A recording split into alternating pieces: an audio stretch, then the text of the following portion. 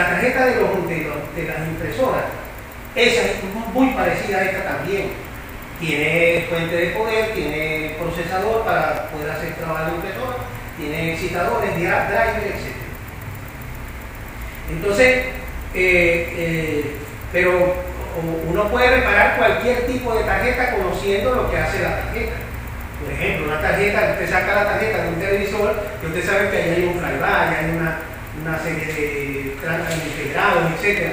Hay un integrado de control, hay un integrado Tunga, que es el que este, procesa las señales de video y de color, etc. O sea que hay, hay que tener conocimiento del aparato y de lo que hace la tarjeta. O sea que reparar tarjetas de este tipo, si usted al tener conocimiento, usted repara esta, repara la de un microondas, repara la de, la de, un, la de una nevera, porque son parecidas en, el ensamble de funcionamiento.